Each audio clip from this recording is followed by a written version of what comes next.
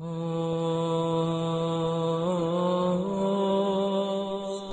बच्चों, अपने माँ बाप की हाय न लो, दुआ लो। और माँ बाप से कहता हूँ, औलाद को इज़्ज़त दो, बेइज्जत ना करो।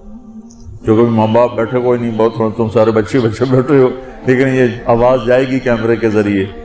माँ वालदेन से कहता हूँ, अपने बच्चों को इज़्ज़त इज़्ज़त नफ्स को तुम कल को बाप बनने वाले हो। तुम्हारी कल शादियाँ होने वाली हैं, ये माँ बनने वाली हैं, तुम बाप बनने वाले हो। अल्लाह के वास्ते ये जो हमारा तालीमी निज़ाम है, इसने हमारे बच्चों को पागल कर दिया है। तीन साल के बच्चे के ऊपर बस्ता लादना, ये उसको तबाह कर देना है।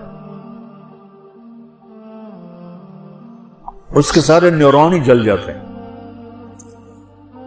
और तीन साल के बच्चे को माँ की गोद चाहिए, स्कूल नहीं चाहिए। मेरे नबी ने कहा, सात साल तक नमाज़ भी ना कहो तो क्या करो? वक्त दो, मोहब्बत दो, इज़्ज़त दो, एहतराम दो। सात साल में हर शह भर जाएगी, फिर वापस तुम्हें करेगा, सारी ज़िंदगी तुम्हें वापस करेगा।